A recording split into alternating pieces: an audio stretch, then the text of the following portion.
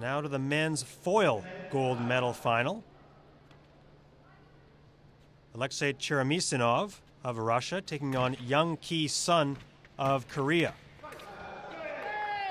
Cheremisinov beat Daniele Garozzo of Italy in the semifinal, while Son took out Edoardo Luperi, also of Italy, to get to this gold medal match.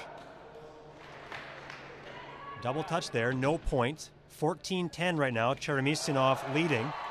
And there it is, the 15th point. He knocks off Son 15 to 10. He will take the gold medal. Young Ki Son of Korea takes silver.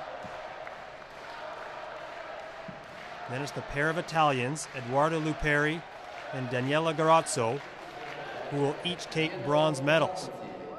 There you see the four medalists.